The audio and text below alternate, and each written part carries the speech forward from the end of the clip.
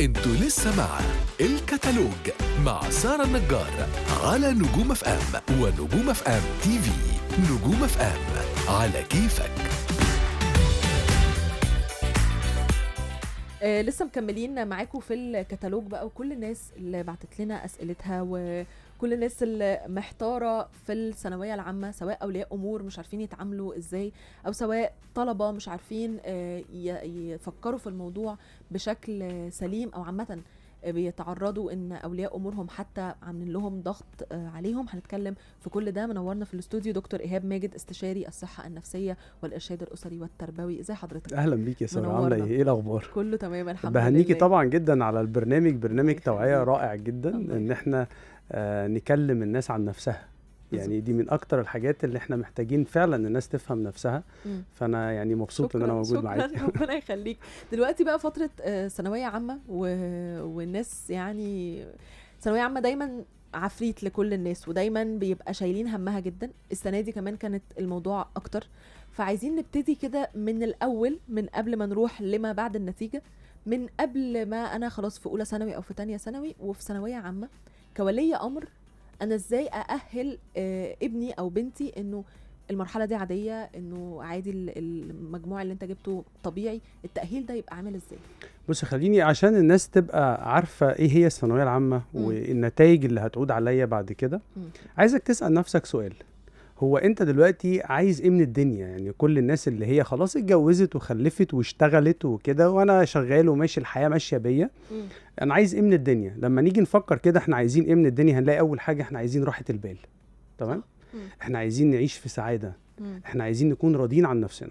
مهما كنت بقى أنا شغال في شغلانة قليلة شغلانة كبيرة أنا معايا فلوس مش معايا فلوس لما هنيجي ندور في الآخر أنا بحاول آخد بعض الوسائل زي مثلا أقول إيه إن أنا لما هنجح في شغلي هيبقى عندي راحة بال. إن أنا لما يبقى معايا فلوس هيبقى عندي راحة بال. إن أنا لما أخش الكلية الفلانية وبعدين بعد الكلية دي هتجوز وهعمل هيبقى عندي راحة بال. فإحنا لما تيجي بقى نقول لكل أب وكل أم أنت حاليا عايز إيه من الدنيا؟ مم. أنت عايز راحة البال. أنت عايز السعادة. أنت عايز تحس إن أنت راضي عن نفسك. فالهدف الأساسي من الحياة إن أنت تكون سعيد. مم. فأنا عايز أوصل رسالة لكل أب ولكل أم. إيه الأهم بالنسبة لك؟ إن أنت يبقى عندك صحة نفسية لاولادك هيبقى هم في النهاية بقى عندهم إيه؟ عندهم ال- القدرة على إن هم يعيشوا مبسوطين وعندهم صحة نفسية ومتوازنين في الحياة. ولا الأهم بالنسبة لك إن هو يكون مثلا معاه دكتوراه بس هو تعيس. بس هو مش قادر يحقق ذاته. بس هو مش راضي عن نفسه. وأهم من ده كمان إيه الأهم بالنسبة لك؟ إن هو يكون جايب درجات عالية جدا وطالع الأول بس علاقتك بيه سيئة. هو. بيكرهك وبيكره المذاكرة ومفيش تواصل بينك وبينه. آه. فإيه الأهم؟ مم. هي أهم حاجة إن أنا عشان أقدر إن أنا أوصل المفهوم ده لأولياء الأمور. عندنا مشكلة كبيرة جدا صدقيني بتقابلني في العيادة وبتقابلني في كل مكان. مم. أي أم وأي أب بيجي لي بيقول لي إيه؟ ابني ما بيذاكرش. يعني أنا النهارده كان لسه عندي حالا النهارده يعني الولد عنده هلاوس يعني بص الولد عنده هلاوس. الولد عنده 12 سنة عنده هلاوس. بيسمع حاجات مش مش موجودة. موجودة okay وعنده مشاكل كبيرة جدا مع الأب بي بي عايز ينتقم من الأب مم. وفي النهاية عنده شوية صعوبات تعلم مم. okay يعني ما مش شاطر في المدرسة مم. فأنا طبعا هاممني جدا الهلاوس دي وهاممني جدا علاقته إن هو طبعاً. عايز ينتقم من باباه يعني فاهم؟ طبعا. وبعدين تقول لي طب الأم تقول لي طب وبعدين إحنا هنعمل إيه وهنعمل إيه في صعوبات التعلم؟ قلت لها صعوبات التعلم إيه؟ مش يعني مهم. إن حضرتك عنده مشاكل أكتر بكتير من المذاكرة. فهي آه. فهي الفكرة دي اللي أنا عايز أوصلها لكل أب ولكل أم. أنت إيه الأهم بالنسبة لك؟ إن أنا ابني يكون عايش سعيد في حياته راضي عن نفسه محقق ذاته. وإن أنا علاقتي بيه تكون كويسة وده مهم جدا ولا إن هو يكون متفوق في المدرسة متفوق في الدراسة. للأسف بقى إحنا عندنا بنعمل إيه؟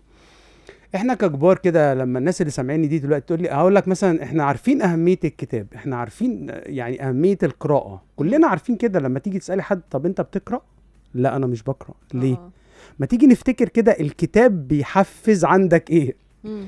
الكتاب لما أنت تيجي تمسك الكتاب لا شعوريا أنت بتفتكر الضغط اللي كانوا بيمارسوه عليا وأنا صغير. صح. انت عقلك أصلا بيجيب كل الألم النفسي اللي انت كنت فيه وقت المذاكرة اتقال لي يا فاشل واتقال لي بكل ألفاظ الحيوانات اللي ممكن تسمعها في الدنيا. واتقال لي ابقى و- قابلني لو ابقى قابلني. وضرب. أنا في النهاية بقى عايز أقول إيه إحنا بنحب الأشياء وبنكرهها إزاي. إحنا في عندنا قوتين بيتحكموا في الإنسان قوة اسمها قوة الألم وقوة اسمها قوة المتعة. إحنا بنعمل أي حاجة في الدنيا فكري فيها كده أي حاجة في الدنيا يا إما إن إحنا بنتجنب الألم يا إما إن إحنا رايحين نحصل على السعادة لو أنا مثلا عايز أعمل نظام غذائي عشان عايز أخس. أنا يا إما حاجتين يا إما إن أنا بتجنب ألم السمنة والمرض والناس تتريق عليا وتشوفني كده يا إما إن أنا عايز أوصل للجسم الرشيق اللي يديني إحساس بالصحة ويديني إحساس بالثقة بالنفس مم. فده أنا عايز أحصل على المتعة وده أنا عايز أبعد عن الألم مهم. اللي بيحصل إيه بقى إن إحنا من وإحنا صغيرين تلاقي الأم عندها ثلاث اللي هو طفل عنده ثلاث أربع سنين ما بيذاكرش هيذاكر إيه يا ماما ده لسه ده لسه في البداية قوي ده ده في أولى ابتدائي وما بيذاكرش آه. حضرتك إحنا ده ما بيقعدش معايا ساعة أصلا على المذاكرة انت عارفة ان في بعض الدراسات بتقول إن أنا مفروض أول حاجة في دراسة بتقول إيه إن إحنا وقت التركيز بتاعنا. بيبدأ من عند دقيقة أبدأ من الصفر لحد 25 دقيقة دي أعلى نقطة تركيز بعد 25 يفصل دقيقة. أبدأ أنزل مم. okay مم. في بقى دراسة تانية مكملة بتقول إن الأطفال مفروض إن أنا ما يقعدوش مثلا عنده أربع أربع سنين يقعد أربع دقائق okay. عنده خمس سنين يقعد خمس دقائق مم. عنده عشر سنين يقعد عشر دقائق ويفصل. مم. أنا مش بقولك إن أنت ما تذاكرلوش بس يقعد عشر دقائق maximum هيقعد 25 دقيقة. okay. ويعمل إيه؟ مم. ويفصل. اديله break خمس دقايق وبعدين رجعه. إحنا بقى بنقعد الطفل من وهو عنده فعلا 3 4 سنين. المذاكرة لأن إحنا عندنا شكل معين من نوع المذاكرة. هو لازم يقعد ال 12 ساعة قاعد على الكتاب. أنا بجيب له الأكل على الترابيزة وبيطلع بس ال weekend هو اللي يخرج فيه. هو كده شاطر. أما أنا بحس إنه كل حد ليه الطريقة بتاعته في المذاكرة. يعني في ناس هي فهمها سريع فهو خلاص هو قعد العشر دقايق أو الربع ساعة خلاص فهم الدنيا إيه ومشي. الناس اللي بتبقى مثلا فرط حركة شوية أو هم أذكياء أكتر في ناس بتبقى أذكياء اللي بنلاقيها حتى دايما اللي هو ابني يقعد عشر دقايق ويحل أكتر من أخوه اللي بيقعد ثلاث وأربع ساعات. صحيح. فإحنا دايما بحس إن إحنا بنعمم شكل كده من نمط المذاكرة وخلاص لو ابني مش بيذاكر بالنمط ده يبقى هو عنده مشكلة. فإحنا لما بنعمل بقى كده بنعمل إيه؟ هو عنده مشكلة فأنا بحاول أعمل إيه؟ أنا بقى بحاول إن أنا أزعق وبحاول إن أنا أضرب وبحاول إن أنا أقول له ركز وأنت ما بتفهمش وأنت في النهاية المذاكرة هنا اتربطت بإيه؟ مم. الكرسي ده اللي أنا قاعد عليه على السفرة ده بذاكر عليه أو على المكتب بتاعي آه. الكرسي ده اتربط عندي بحالة من الألم النفسي. صح. فمجرد إن أنا آجي أقعد على الكرسي أحس بقى إن دماغي دي قفلت. خلاص أنا مش طايق نفسي. أنا مش طايق المذاكرة أنا خمسة في خمسة في كام أنا ما بعرفش. ده. أحيانا كمان تلاقي مثلا الأم دي كانت حاصلة قدامي مثلا الولد بتقول له خمسة في خمسة بكام؟ فعمل كده آه 25 راحت لطشه قالت له هي دي مستاهلة إن أنت تت- تتأخر ده كله؟ عيني. اعمل لك أكتر من كده ما أنا جاوبت صح. طب يعني صح مش نافع جاوب- وغلط مش نافع. جاوبت آه، صح بس البوط قياسي. يعني آه لازم بسرعة موسوعة إحنا كنا. بنذاكرها. آه. فالمشكلة إن أنا ربطت المذاكرة بإيه؟ ربطت المذاكرة بألم نفسي. مم. إيه بقى هنا المشكلة الأساسية كمان؟ إن الولد كره المذاكرة ماشي؟ وكره العلاقة مع ماما اللي بتذاكر له. عشان كده أنا بنصح أي أم مش عارفة تسيطر نف... على نفسها في وقت المذاكرة مع أولادها. انت لازم تستعيني بحد. مم. ما ينفعش إن أنت تذاكري له لأن أنت بتخسري علاقتك معاه وعلاقتك معاه دي أهم بكتير قوي من المذاكرة ومن الامتحانات ومن كل حاجة مم. ربطت الامتحانات بطاقة أو, أو بطاقة سلبية أو بضغوط بحسست الطفل من وهو صغير إن الامتحان ده يعني زي ما المثل اللي بيقول مم. يوم الامتحان يكرم المرء أو يهان فأنا. محسسه إن أنت الامتحان ده أنت أنت تساوي الامتحان مم. فبالتالي ممكن الطفل يكون عارف الإجابة كويس جدا يجي يخش وقت الامتحان يفتكر الألم. يفتكر إن ماما هتتضايق يفتكر إن بابا هي هيضرب هيلومني هيقطمني بالكلام ما يحلش ما حاجة يحلش حاجة ما صح يحلش حاجة. وده بنشوفه بشكل كتير اللي هو هو الولد شاطر جدا مثلا بس هو اتوتر. اتوتر من إيه؟ بتلاقي حد يا أهله يا المدرس اللي هو أنت لازم تجيب الدرجة النهائية. أو الحاجات التانية برضو اللي عايز أسأل حضرتك فيها فكرة ال- التحفيز اللي هو انت بس جيب عشرة من عشرة عشان أجيب لك الحاجة اللي انت كنت عايزها. فهو بيبقى داخل هو مشتت هو عايز الحاجة فمش دايما بحس ان ده شكل التحفيز كويس لأن هو بي... تركيزه بيروح للعربية اللي هو عايزها ولا اللعبة اللي هو عايزها و... وخلاص وما بيحلش كويس في الامتحان فبيطلع هو خايف من باباه وزعلان ان هو ما جالوش الهدية ف ده بصي هو إحنا عامة عندنا برضو مشكلة كبيرة جدا في موضوع التحفيز إحنا عندنا هنا بنحفز بعض بإن إحنا نقارن العيال ببعض. يعني بص اللي هو. إحنا أول حاجة إحنا بنحفزه إن أنت تقارنه بحد تاني. آه. وأنت متهيأ لك كده إن أنت لما تقارنه بأخوه أو هتقارنه بأخته أو بابن خالته أو أنت الواد بقى هيتحفز بقى وهيقوم يذاكر وهيقطع الدنيا أوكي؟ أحيانا ده بيحصل بس بنسبة قليلة جدا مم. وبيبقى الطفل ده بيحاول يثبت لهم إن أنا مش كده وبعد كده يفضل إحساسه بالفشل مستمر طول عمره. صح. تمام حتى لو نجح يعني مم. ولكن إحنا بنحفز إزاي إحنا بنحفز عن طريق المقارنة إحنا بنحفز عن طريق إن أنا أحرمه إحنا بنحفز عن طريق إني أنا آه، اسبه مم. إحنا بنحفز. عن طريق إن أنا اقطمه. آه فدي مش طرق تحفيز. دي استحالة تكون طرق تحفيز لبني آدمين يعني. فعمره ما هو هيتحفز كده طب إيه الطريقة المثلى بقى الحاجة الحلوة ال- الشكل السليم اللي أهل بيه للامتحانات أو اللي أتعامل بيه في في المذاكرة عامة يعني لو هستعين بحد تمام بس عامة أنا الكلام اللي أقوله الكلام اللي ما أقولهوش الحاجات دي كلها بص إحنا أهم حاجة اللي بتحفز الأطفال واللي بتحفزنا إحنا كلنا العلاقة فكري. فيها كده. أنا عايز أخس ومش عارف أخس. حبيت. هخس تمام؟ أنا أنا على عايز حسب لو حلوة هخس لو ما, وحشه ما أنا لو حبيت خلاص أنا لو آه. حبيت أنا هعمل أي حاجة علشان اللي أنا بحبه ده. صح. لأن في علاقة طيبة بيني وبينه هو قابلني زي ما أنا. مم. وبيشجعني وبيحفزني وبيديني طاقة حب أوكي؟ فأنا أه- أهم حافز للأطفال هو علاقة طيبة مع بابا وماما. حلو. وبيت هادي. مم. بيت ما فيهوش مشاكل. يعني برضو من ضمن الحاجات أنا دايما أقول للأب والأم لما بيكونوا بيتخانقوا مع بعض يعني لو مضطرين تتخانقوا مع بعض وحابين ومش قادرين تستغنوا عن الخناق في أوضة النوم.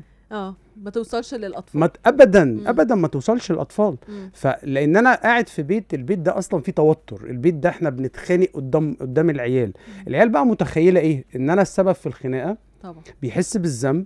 البيت بالنسبة له أصبح غير آمن عنده إحساس بالتهديد إن هو ممكن يسيبوا بعض في أي لحظة وده بيحصل تهديد اللي يعني لما لما بنتخانق ممكن تلاقي مثلا الزوجة هددت أو الأب هدد مم.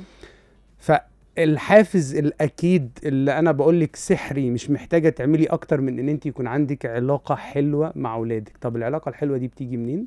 العلاقة الحلوة دي بتيجي من إن أنا اولا بتواصل معاهم طبعا ما فيش بقى ضرب ولا تهديد ولا ولا مقارنات ولا عنف ولا ولا أي نوع من أنواع الإيذاء النفسي أو الجسدي.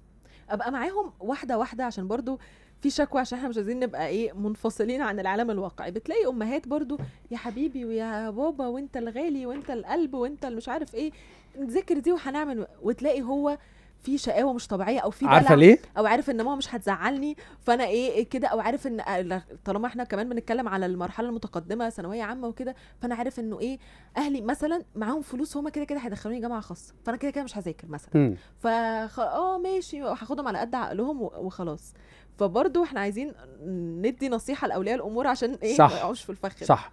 بص إحنا في عندنا آه، منهجي في التربية منهجي في التربية سهل جدا وبسيط جدا وأي حد في الدنيا يمكن يطبقه وبسهولة مم. وعملي جدا التربية ثلاث حاجات ماشي ثلاث دوائر مع بعض كده. لو هم لو أنا جبت الثلاث دوائر دول دخلتهم في بعض هيدوني حتة في النص كده. هي دي التربية الصحيحة السليمة اللي تطلع عيال. مم. اولا هم محبوبين هم حاسين إن هم محبوبين. رقم اتنين هم عارفين الصح والغلط. آه رقم ثلاثة هم عندهم انضباط ذاتي داخلي تمام. الأول حاجة أول دايرة هي الحب.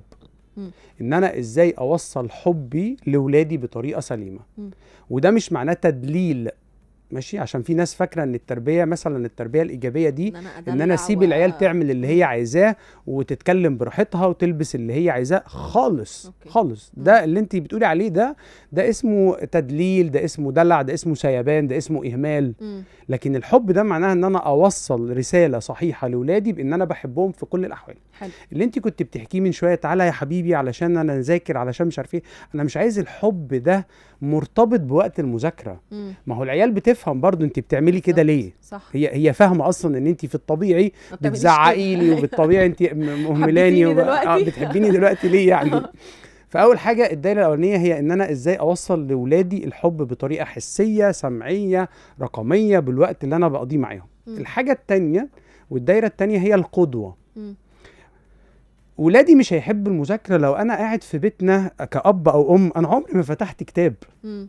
أنا عمري أصلا ما ما اهتميت بالعلم في في بيتر دراكر بيقول إيه وده يعني أبو علم الإدارة في العالم بيقول إن المتعلم هو الشخص الذي تعلم كيف يتعلم ومستمر في التعلم أنا خلاص. خلصت الجامعة بس لسه بدرس حلو. أنا خلصت الدكتوراه بتاعتي بس أنا لسه بدرس لأني اتعلمت إزاي أتعلم حلو. طب الجاهل بقى أنا عندي تعريف للجاهل مم. هو الشخص الذي تعلم كيف يتعلم وتوقف عن التعلم فاحنا معظمنا كآباء وأمهات إحنا ما, بن... ما بنثقفش نفسنا.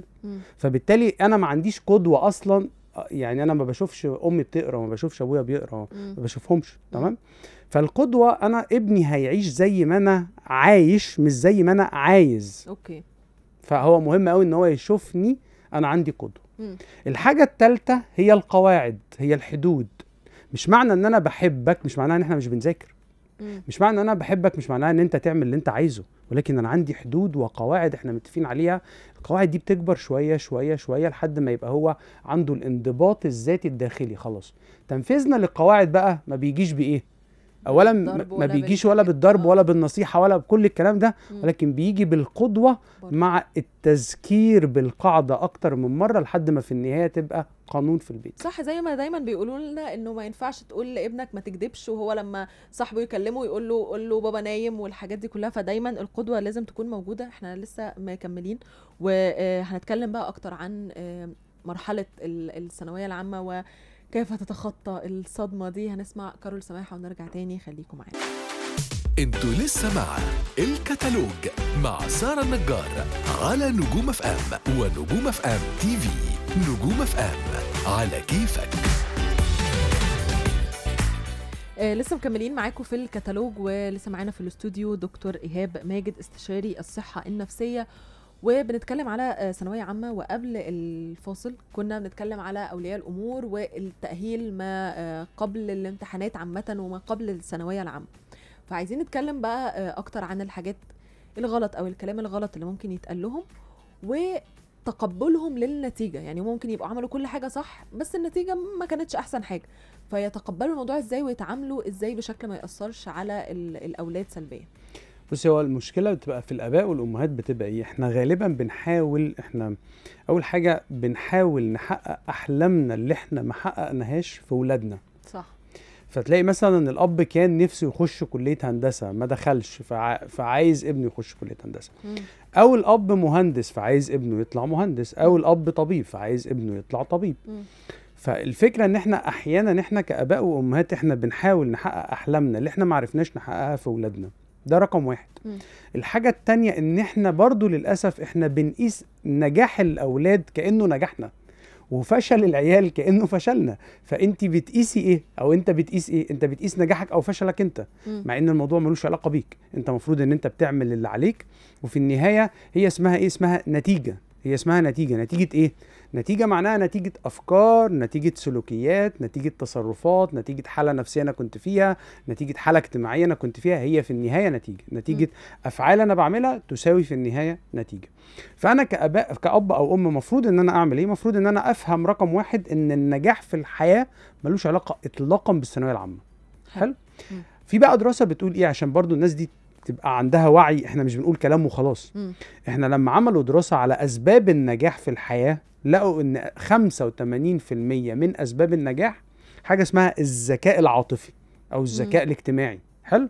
صح. يعني أنا عشان أنجح أنا محتاج 85% ذكاء عاطفي. إيه هو الذكاء العاطفي ده؟ أفهم نفسي أفهم مشاعري أتعامل مع نفسي. أفهم مشاعر اللي قدامي أتعامل مع اللي قدامي أبقى فاهم أنا أهدافي إيه فاهم رسالتي إيه. أنا بشتغل إزاي أنا فاهم نفسي الأول وفاهم الآخر اللي حواليا. حلو؟ حلو. 15% معتمد على المهارة العلمية أو المهنية يعني أنا دلوقتي مثلا طبيب مم. أوكي أنا محتاج 15% معلومات علمية ليها علاقة بالطب و85% من نجاحي معتمد على الذكاء الاجتماعي والذكاء. العاطفي.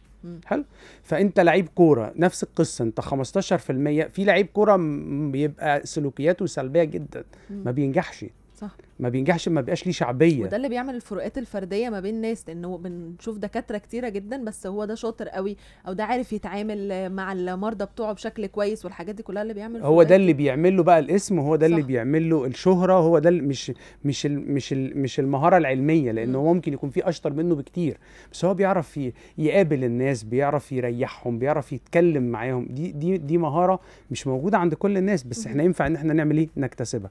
فلازم أنا كأب وأم أفهم ان النجاح في الحياة ملوش علاقة بالثانوية العامة. انت لما بتروح تعمل انترفيو ما بيقولكش انت كنت جايب كام في ال science في إعدادي. صح.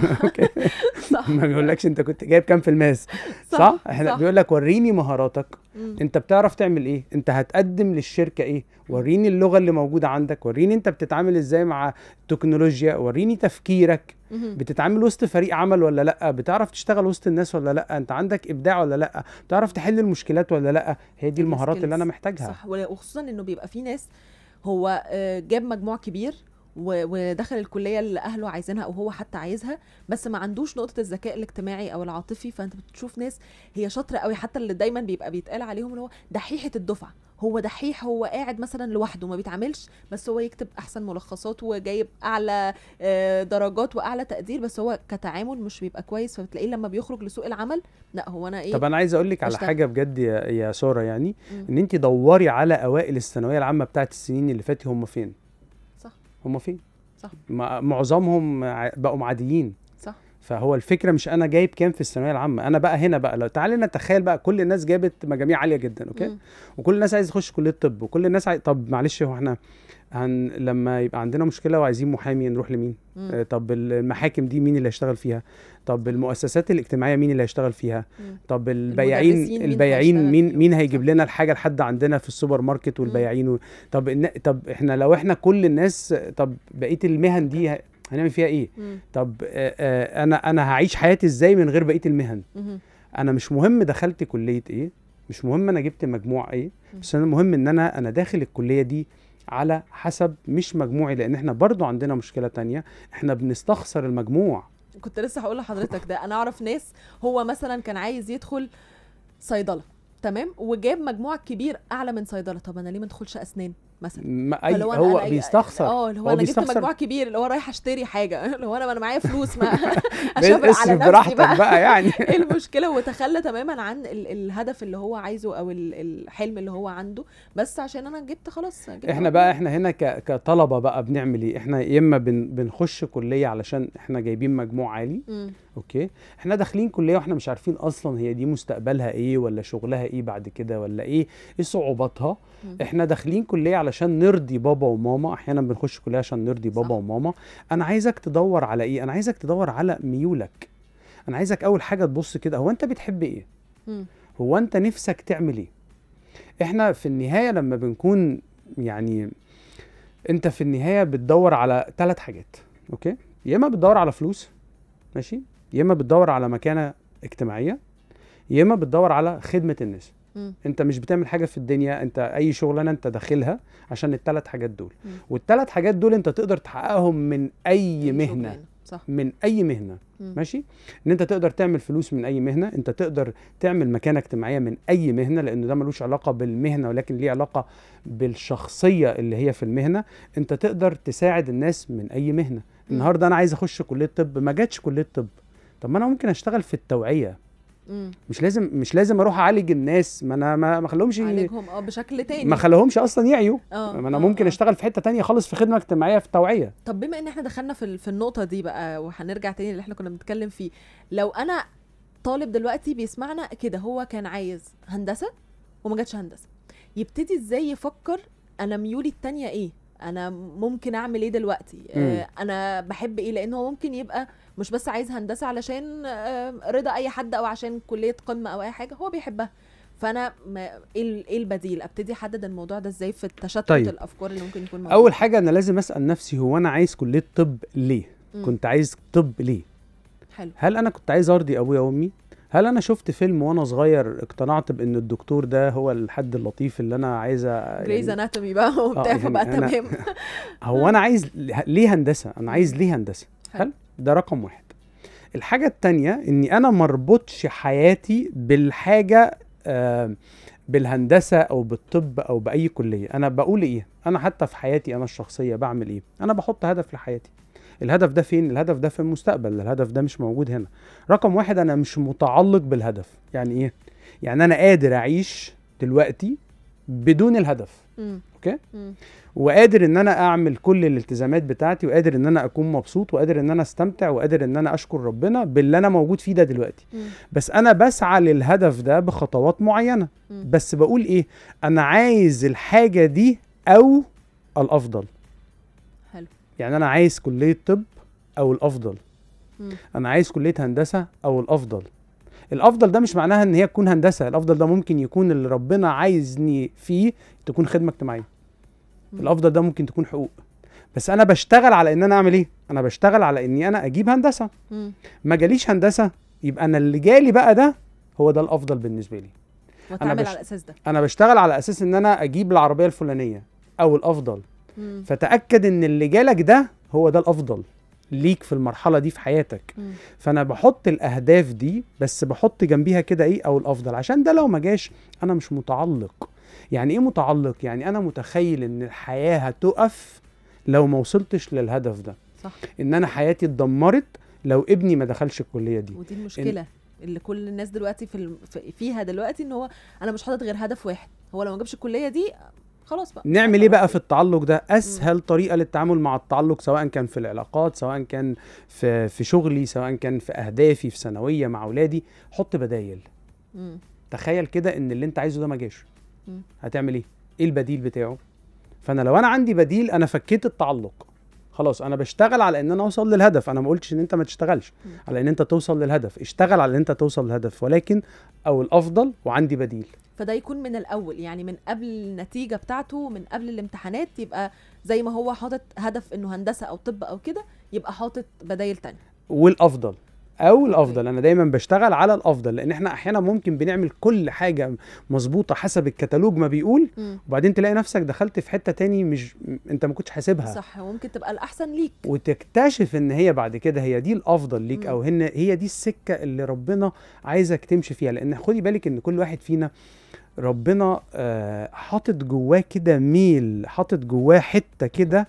الحتة دي أنت في حتة جواك بتخدم بيها ناس تانية. مم. والحتة دي هي اللي انت هتبقى رسالتك فيها فانت ممكن تلاقي نفسك شغال في كل حياتك لمدة 20 30 سنة وانت هدفك حاجة واحدة مم. وبعدين تكتشف ان انت بعد ما بتوصل لده أو حتى ما وصلتلوش ان انت رحت ماشي في طريق تاني خالص انت مش عامل حسابه تأكد بقى ان الطريق الجديد ده هو دي الرسالة اللي ربنا أوجدك في الحياة من أجلها طيب وطريقة التفكير دلوقتي لو هو أنا في في ال- في الصدمة دي أو أنا ما كنتش حاطط أنا مش عايز أقول. إن دي صدمة أصل هي أنا بحس بحس دايما إن هي صدمة لو حد وخصوصا الناس اللي كان يعني هدفهم حاجة كبيرة مثلا لأنه في ناس بيبقى أنا عايز أجيب مجموع كويس فالصدمة بتكون أقل أما لو في حد هو أماله كلها زي ما كنا بنتكلم إن هو طب فما جاتش ومش حاطط بدايل ولا الأفضل ولا أي حاجة فأنا قاعد مش عارف اعمل إيه. يا أهلي قرروا لي يا يا اصحابي يقولوا لي اعمل إيه مين رايح فين أنا هروح معاه.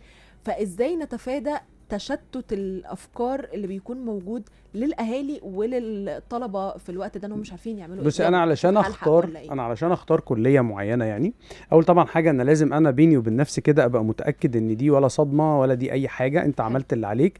لو أنت عملت اللي عليك فعلا وأنت حاسس إن أنت عملت اللي عليك وفي النهاية أنت ما جبتش الكلية اللي أنت كنت بتحلم بيها اعرف إن الطريق ده هو الأفضل بالنسبة لك. حلو. تمام. هتكتشفوا زي ما انت قلتي في بداية الحلقة ان إحنا أحيانا بنكتشف ده بعدين. فانت خد من خبرة الآخرين ان فعلا هم اكتشفوا ان المشكلة اللي كنت أنا بعاني منها دي اصبحت خير.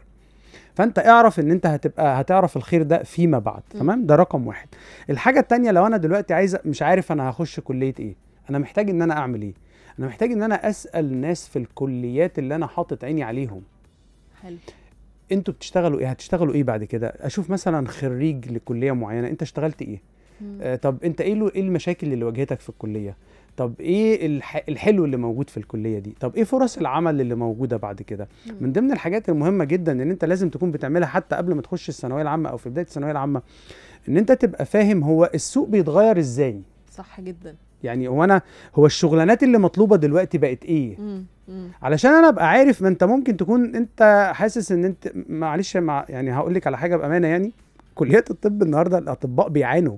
حقيقي الأطباء اللي هم بالفعل دكاترة يعني خلاص الخر... بيعانوا. ده حقيقي بيعانوا ماديا وبيعانوا في مشاكل من المجتمع. وبيقول لك يا ريتني أنا ما كنت دخلت كلية طب. صح. طب ما تروح تسأل بقى. سوق العمل دلوقتي بقى هو سوق العمل محتاج مين؟ مم. محتاج إيه؟ إيه المشاكل اللي هتقابلك في كلية طب أنت عندك استعداد تقعد تشتغل كام سنة من غير ما تكسب زي ما أنت متخيل من الطب يعني؟ أنت عندك استعداد تشتغل كام سنة. على وتت وت وتتعب قد إيه علشان في النهاية توصل للي أنت عايزه؟ طب هل في بدايل تانية ولا مفيش بدايل تانية؟ في طبعا بعض الاختبارات الكتيرة اللي موجودة على الإنترنت اللي أنت بتحدد بيها المسار المهني. زي إيه بقى؟ حضرتك عارف أو يكتب إيه بيكتب؟ اختبارات تحديد المسار المهني تمام. تمام؟ بي بيخش بقى في في طبعا في حاجات منها مدفوعة وفي حاجات منها مجانية. حلو. وفي حاجات بتتعمل في مكاتب في مصر وفي مراكز يعني. بيخش بقى يسألك بقى بيجي 100 سؤال كده عشان تفهم في النهاية هو انت نفسه. ميولك مم. إيه؟ مم. انت ممكن تشتغل في إيه بعد كده؟ انت ممكن تخش كلية إيه بعد كده؟ إحنا للأسف ما عندناش ده. على فكرة ده معمول في دول عربية كتير. مم. إن أنت. بتخش على ال- ال websites بتاع الوزارات بتعمل الاختبار ده آه، علشان تعرف أنت عايز فين تروح فين وتيجي فين منين. عشان تبقى ناجح فين أكتر. تحديد المستوى المهني. اختبار تحديد المستوى المهني. تحديد المسار المهني. المسار المهني. مم. تحديد المسار المهني آه، ده على جوجل عشان يساعد أي حد دلوقتي مشتت هو مش عارف يعمل إيه. إحنا لسه آه، مكملين. مكملين. لسه نسمع أصالة ابعتوا لي على 015 59 55 1006 أي أسئلة تخص المرحلة دي مش عارفين آه، تتعاملوا معاها نسمع أصالة ونرجع تاني خليكم معانا. أنتوا لسه مع الكتالوج مع سارة النجار على نجوم اف ام ونجوم اف ام تي في نجوم اف ام على كيفك. لسه مكملين. آه، ومعانا دكتور إيهاب ماجد استشاري الصحة النفسية. وعايزين بقى نتكلم آه، على نقطة مهمة وفكرة ردود الأفعال. يعني في ثانوية عامة بالذات إحنا بتلاقي لو في بيوت فيها ثانوية عامة تلاقي في بيت فيه زغاريت قوي وبيت سويت وعياط وحاجات كده. فبتلاقي ردود الأفعال من الطلبة أو من أولياء الأمور آه، فيها حاجة over يا إما آه، عياط قوي يا إما برضو لو هنرجع لنقطة الحب اللي إحنا اتكلمنا فيها في حد بيبقى زعلان على زعل التاني. يعني هو الابن أو البنت زعلانة إن أنا ما فرحتش أهلي. والأهل زعلانين على بنتهم اللي اتكسر بخاطرها واللي كانوا شايفين إن هي بتذاكر قوي وما ما وصلتش لحاجة اللي هي عايزاها. فالموضوع ده نحكمه إزاي عشان ما يبقاش في جو بقى من الكآبة إحنا مش في إيدينا؟ هقول لهم كلمة واحدة بس أقول له تعرف تفرح؟ مش عارف. تع- تعرف تفرح إن ابنك لسه الحمد لله قدامك وبصحته وبكيانه. تعرف تفرح بابنك وتعرفي تفرحي ببنتك تعرفوا إن أنتوا تشكروا ربنا على النعم اللي موجودة عندنا. إحنا ممكن نكون آه، ما بنحسش بالنعمة اللي موجودة عندنا إلا لما بتروح. فساعتها إحنا بنقول يا ريتها كانت جت في العربية يا ريتها كانت جت في الصاج يا ريتها كانت جت في الفلوس. يا ريتها طب ما إحنا عندنا دول. ما إحنا عندنا الح... إحنا عندنا عندنا اولادنا فأول حاجة انت لازم تفرحي باولادك مهما كان. أرجع تاني أقول لك إن أهم حاجة صحة ولادي النفسية. هو أنا ببقى ناجح لما ببقى سعيد ولا ببقى سعيد لما أبقى ناجح. لا أنا ببقى ناجح لما أبقى سعيد. صح. مش العكس صح. فأهم حاجة إن انت هنا هتتعاملي مع أولادك إيه آه، خلاص آه، زي ما تيجي النتيجة مفيش مشاكل ولا يهمك عادي إيه المشكلة يعني مم. فأنا عايز عايز أوصل ده وانت لازم تكوني مقتنعة بيه إن هو الحقيقة فعلا إنه م- أيوه مفيش مشكلة حصلت لأنه بتبقى في آه، أولياء أمور هم بيقولوا الجملة دي وهو وشهم محمر بصي أنا النهارده كان عندي الغيظ. طفل بيقول لي ده أنا بي عندي طفل بيقول لي ده أنا جبت 82% وزعلان ومتضايق هو في إعدادي وداخل ثانوي okay. قلت له طب أنت لو جبت 89% هتقعد في الأول. قال لي لا. قلت له طب لو جبت 90% هتطول شوية؟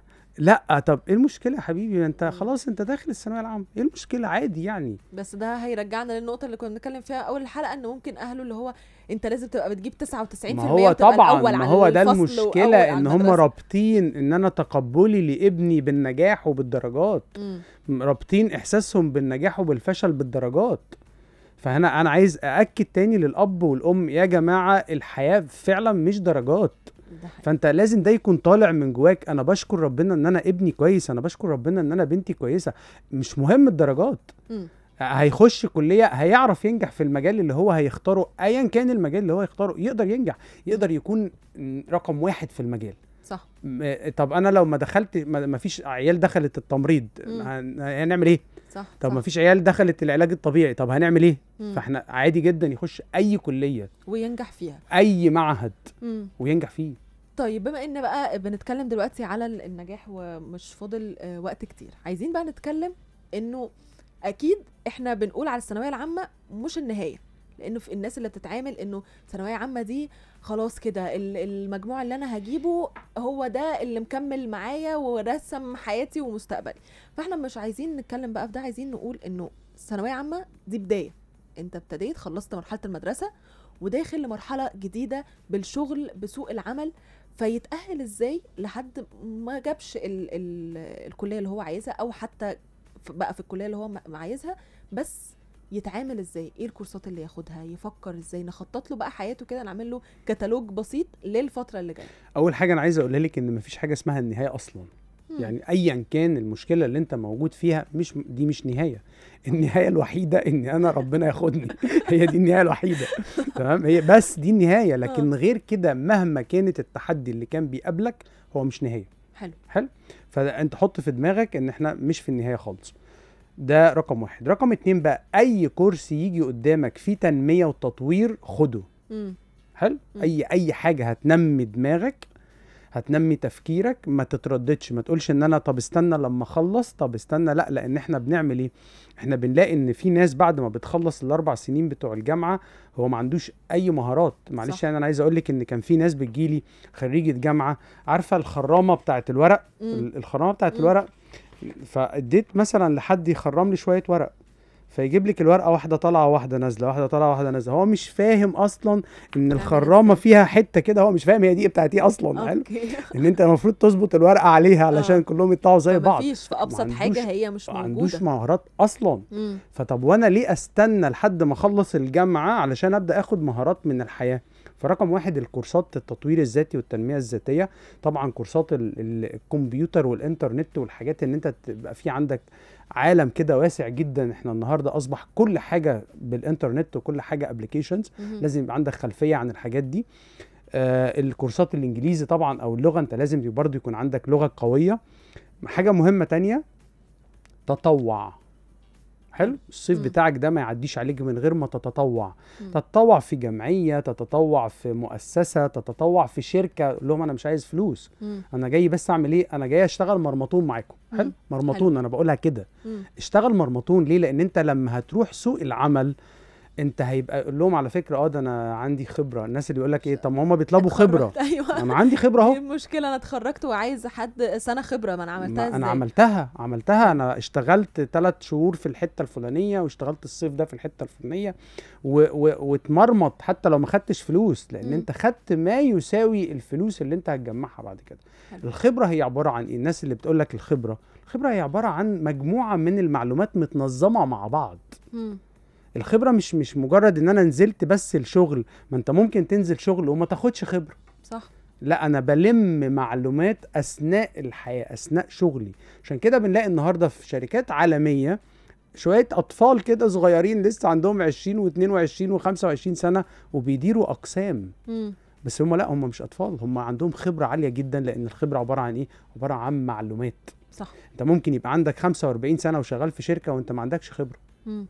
فانا هاخد الخبرة دي أثناء الكلية بتاعتي أنا متعامل بالخبرة السنين ال- السنين الشغل مش أكتر لا هي أنا الخبرة 10 سنين وخلاص. هي الخبرة ال- أنا لميت معلومات قد إيه. أثناء العشر سنين أنا بعرف إيه أثناء العشر سنين. النهارده اللي بيعرف أكتر هو ده اللي بيتحكم في العالم النهارده العالم اللي بيتحكم فيه مش الأسلحة. مش المال المعرفة فاللي عنده معرفة عنده قوة واللي ما عندوش معرفة ما عندوش قوة. فكورسات التطوير الذاتي والتنمية الذاتية هتعرفك بنفسك هتعرفك بإمكانياتك هتعرفك تعرف تاخد قرار تعرف تحل مشكلة تعرف تتعامل مع الآخرين. بالظبط. هيتعاملوا إزاي أو هيت... هيعرفوا إزاي الحاجات السلبية اللي هتبقى حواليهم؟ لأنه من أول من أول ثانوي لو أنا عديت مرحلة الأهل وده اللي كنت مركزين عليه النهارده في الناس بقى اللي هي خالته وطنط وجارتنا وصاحبي والشخص اللي أنا هشوفه في الجامعة اللي هو إيه يا عم هو في حاجة من دي بتحصل يا عم أنت كده فاشل يا عم أنت كده مش عارف إيه إزاي برضو آه إن هم يقللوا من الموضوع ده أو ما. يخلوهمش يأثر عليهم صح بالسهوله دي أيوه أسهل حاجة خالص يعني أسهل حاجة خالص آه. ما تسمعش.